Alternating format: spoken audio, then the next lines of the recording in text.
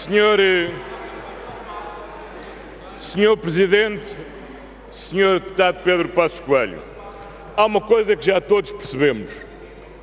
O país tem um sucesso, o senhor fica zangado.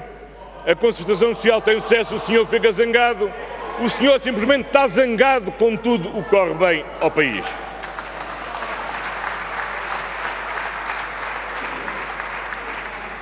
E o senhor o que não percebe é que a alegria que dá à sua bancada é o desgosto que dá a todos os trabalhadores portugueses que vão beneficiar do aumento do salário mínimo nacional e que sabem que o fazem contra a sua vontade.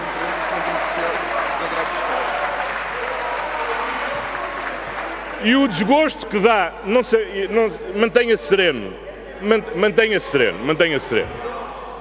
E é o desgosto que dá a todas as empresas que vão pagar menos pagamento especial por conta e que o farão graças ao Governo e à maioria que o apoia e não graças a si, por graças tempo, a si continuam a pagar mais como sempre pagaram enquanto governou.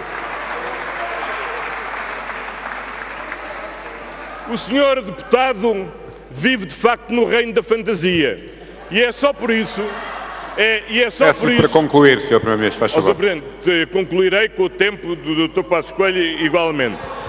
O o tempo senhor, eh, É aqui a mesa é que termina. Faz favor, Sr. Primeiro-Ministro. E digo-lhe só, para respeitar o seu Presidente, arranjarei a oportunidade de responder ao resto.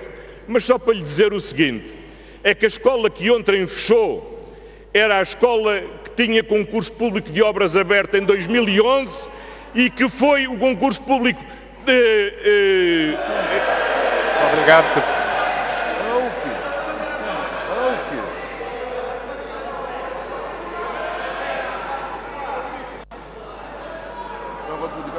A escola Alexandre Herculano do Porto era uma das 39 escolas com concurso público aberto, adjudicado já a Soares da Costa e cuja obra, Vossa Excelência, Obrigado, con- Primeiro-Ministro. contratação, vocês anularam, não tendo sido feito. Até a obra que devia ter sido feita em 2011.